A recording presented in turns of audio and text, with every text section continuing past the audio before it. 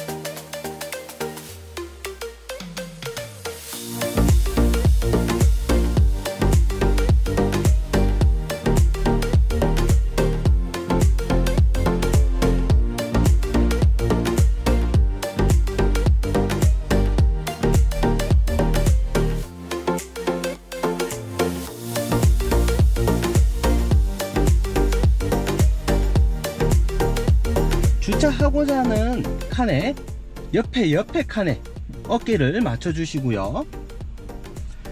후진 기어를 놓고 핸들은 주착한 방향으로 끝까지 감습니다. 공식조차 필요 없는 분들 머리가 나빠서 못하겠다는 분들 두려워서 못하겠다는 분들 이 방식 써주시면 됩니다. 천천히 좌우 살피면서 들어가 보도록 하겠습니다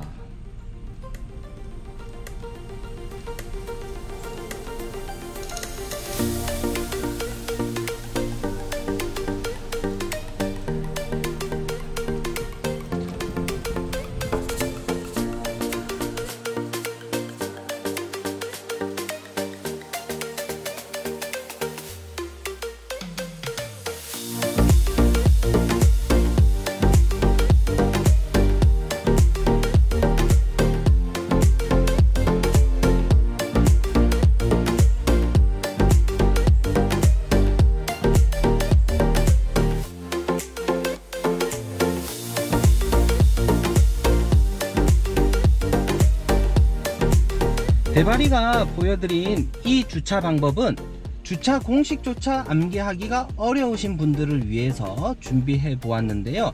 주차하고자 하는 칸에 옆에 옆에 차량과 주차칸과 어깨를 일치한 다음 주차칸 방향으로 핸들을 끝까지 꺾어서 후진하시면 돼요. 또다시 한 번 더 보여드리도록 하겠습니다. 또다시 주차하고자 하는 칸에 옆에 옆 칸에 어깨를 맞추신 다음에 주착한 방향으로 핸들은 끝까지 꺾어서 후진. 후진. 후진. 후진. 후진. 후진. 주착한과 평행이 되면 핸들은 다시 원위치로 해서 천천히 후진 후진. 주차 완성.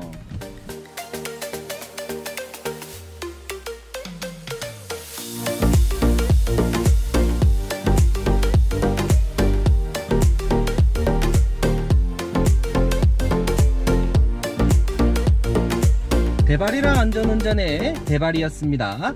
항상 주차 공식을 이용해서 눈으로 먼저 주차를 배우시는 것이 참 좋은데요.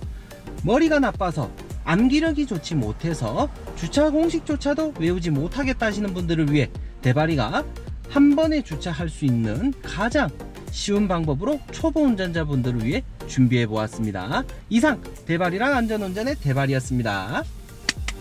좋아요